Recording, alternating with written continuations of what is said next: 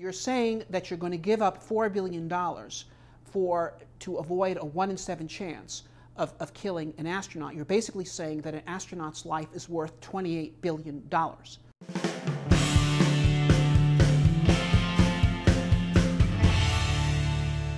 Hi, I'm Matt Welch from Reason TV, and I'm joined today by Dr. Robert Zubrin. Uh, he is an astronautical engineer and occasional contributor to Reason Magazine, including in our BAFO space issue, Rocket Man, in which he wrote a very popular, controversial article titled, uh, What is an Astronaut's Life Worth? Robert, thank you for joining us. Why do you want to kill astronauts? I don't want to kill astronauts. I, in fact, I want to elevate astronauts from their current status of guinea pigs to their true role, which is as explorers. But if they're going to be explorers, they have to be allowed to explore. For the past four decades, NASA has not gone anywhere new.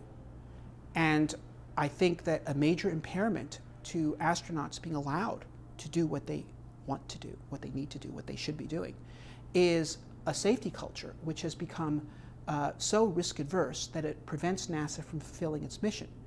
Given the costs of NASA, which come at the expense of various other things that we could be doing in the money, whether in the public sector or the private sector, that there's an obligation for NASA to deliver the goods here. If you say we shouldn't send astronauts to rescue the Hubble Space Telescope, as uh, former Administrator O'Keefe said, because there's risk involved. Admittedly, a one chance in 50 risk of space shuttle failure, which was their documented uh, failure rate. If you've got a 2% chance of killing seven people that is probabilistically equivalent to a 14% chance of killing one person. And you're saying that you're going to give up $4 billion to avoid a 1 in 7 chance of, of killing an astronaut. You're basically saying that an astronaut's life is worth $28 billion. If you put this extreme value on the life of an astronaut, you basically make it impossible to do anything. If you say that safety is your number one priority, then you never fly. And you get a space agency which is costing $17 billion a year and accomplishing nothing. And these calculations happen in other areas of government. They know that number, they follow that according to policy, right? Right.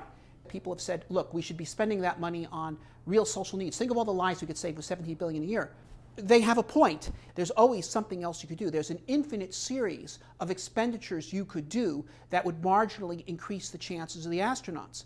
But if you do that, you never fly and you spend an infinite amount of money to have a space program that accomplishes nothing. And you do this at the expense of all these other human needs that could indeed be met. It's one thing, you know, to spend $4 billion a year on a shuttle program that does X, Y, and Z. It's another thing to spend $4 billion a year on a manned spaceflight program, or currently $10 billion a year on a manned spaceflight program that doesn't even launch anyone.